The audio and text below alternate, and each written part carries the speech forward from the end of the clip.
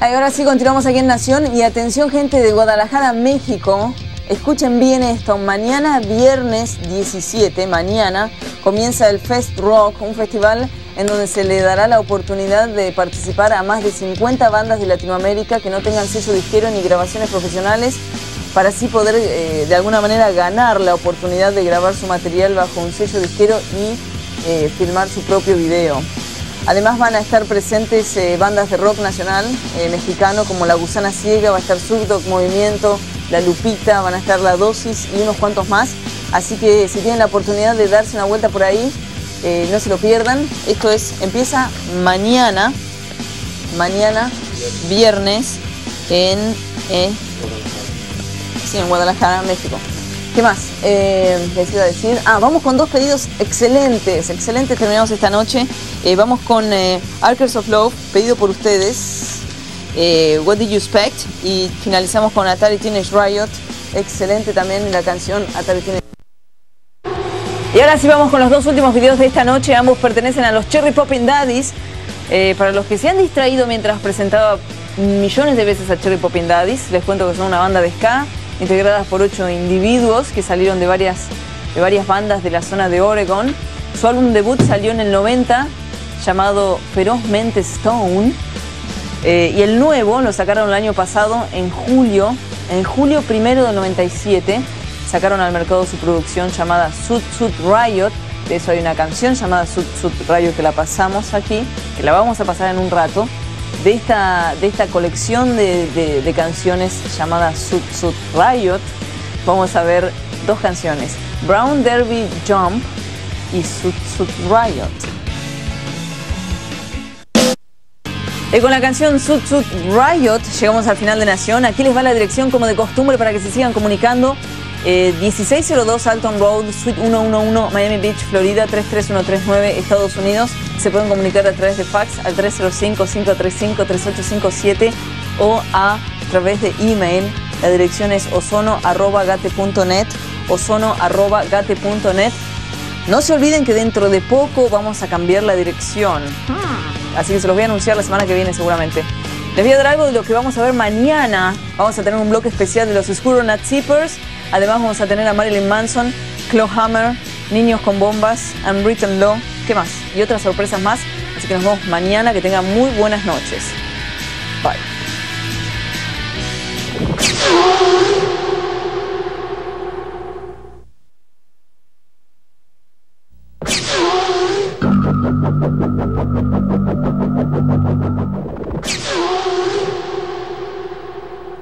¿Qué tal? ¿Cómo están? Bienvenidos a una nueva edición de Nación esta noche. Vamos a con unos cuantos videos. Tenemos Willy Crook, tenemos Radiohead, tenemos algo de los tres, tenemos Dimitri from Paris, tenemos un par de clásicos muy buenos hoy con David Bowie y The Clash, como también algo de los Stone Roses. Este programa yo creo que está muy bien hoy. Antes de ir con el primer video, les cuento que el amigo y director de Beck, esta es una noticia acerca de Beck, Steve Hunt, este chico, este no es tan chico, pero bueno, está preparando, este hombre, está, este muchacho, está preparando, eh, se está preparando para lanzar en el cine una recopilación de presentaciones eh, y videos que nunca se han visto de Beck. El plan es hacer esto. Comenzó, eh, todo comenzó desde la gira Odelay de 1996 y desde entonces Steve este chico se ha dedicado a filmar de todo para lanzarlo como una especie, sería como una especie de documental, película sobre el artista que se va a estar presentando en cines pequeños, al menos en un principio seguramente en Estados Unidos y después en Latinoamérica algunos buenos cines pequeños, eh, que son muy pocos los que se arriesgan, van a pasar este material y si no se va a poder conseguir en Video Home. Les cuento que Beck se encuentra grabando también un álbum para un sello independiente. ¿Y qué más? Los voy a mantener informados sobre esto y sobre el tema ese de la película, del nuevo trabajo de Beck. Ahora sí, los voy a dejar con otra cosa. Esto es Two Skinny Jays con Riot North.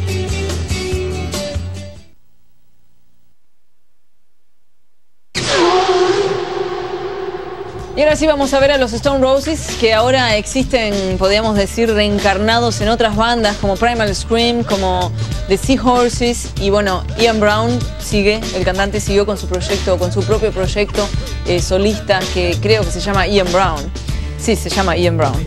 La cuestión es que los Stone Roses fue una de las bandas que tenían La verdad que tenían un gran potencial, pero por varios motivos, eh, como que nunca lograron hacer tan constantes, pero fue una de las bandas más influenciales de los 80s, eh, definitivamente junto a Happy Mondays. Bueno, la cuestión es que únicamente sacaron dos álbums, uno en el 89 y otro, y otro en el 94, y después en el 96 se separaron. ¿Saben que hay mucha gente que pide información, que mandan emails diciendo, ah, me gustaría saber noticias, ¿por qué no me mandás? Me piden a mí personalmente que les escriba a todos información sobre cosas. Pero, por ejemplo, hay algunos que se eh, comunicaron pidiendo Stone Roses, por eso nosotros lo estamos pasando también esta noche.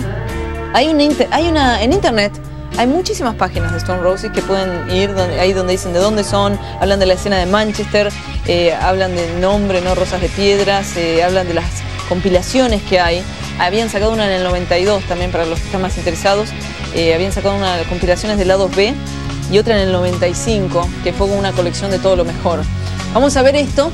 Esto pertenece al disco del 89, que bueno, definitivamente es el mejor de los dos y bueno, habrá que ver las compilaciones, en fin. La cuestión es que la canción es, em, la canción es Fool's Gold. Aquí va.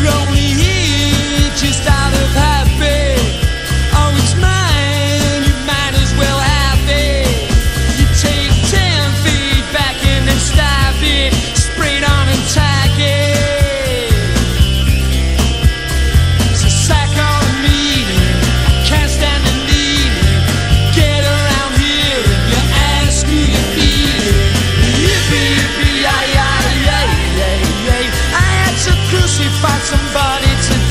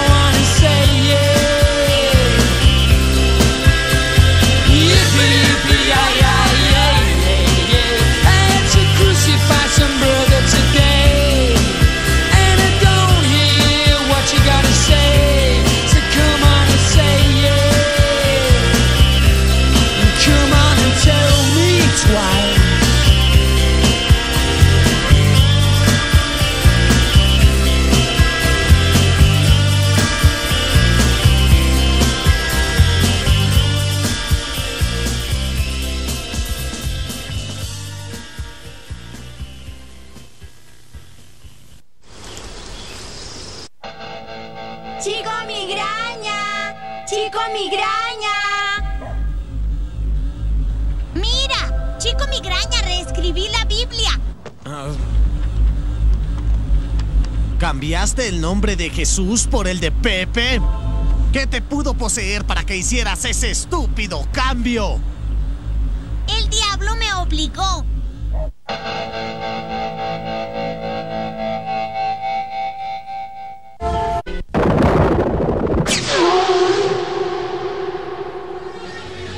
Continuamos en Nación y ahora sí vamos con un bloque de videos que podrían ser considerados los mejores que hemos recibido desde enero hasta la fecha. Es un poco exagerado por ahí decir esto con, eh, con Cake, pero está bueno que vienen un rato con Friend is a Four Letter Word.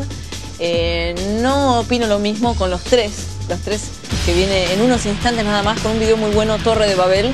Vamos a comenzar con un... Sí, este video también está muy bueno. El- está excelente el video de Dimitri from Paris. No confundir con Dimitri, el de Delight. ¿Se acuerdan el DJ que tenía de- Delight? No, este es otro. Porque el DJ de Delight también sacó discos y siguió su carrera solista. Em, este es otro. Eh, quien compartió estudio en su momento con New Order, con Brand New Heavies, con Björk, entre otros más. Y les cuento que Dimitri from Paris, por supuesto de francés, es considerado junto a Air, eh, junto con la banda Air, la otra banda francesa, la, generación, la nueva generación lunch, like lunch, jazz y post-techno.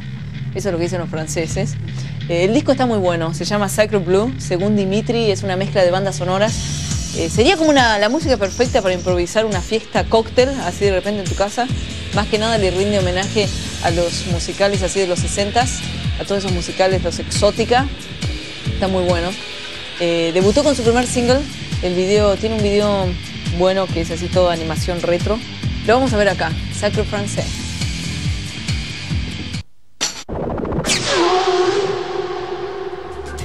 Continuamos esta noche y tenemos un bloque muy bueno. No hablaré mucho así, no alargamos esto y llegamos a ver a The Otters con Chinese Bakery, buenísimo. Antes tenemos un video de The Clash para todos los que constantemente piden The Clash. Y vamos a comenzar con una canción del disco de 1977 de David Bowie que lleva el mismo nombre de la canción. En estos días esta canción está en los charts, pero no por David Bowie, sino de alguna manera gracias a, un cover que, está, que hizo Wallflowers, la banda del hijo de Bob Dylan, eh, para la banda sonora de la película Godzilla. Godzilla, película que ya se estrenó en Estados Unidos con así unos exuberantes efectos especiales.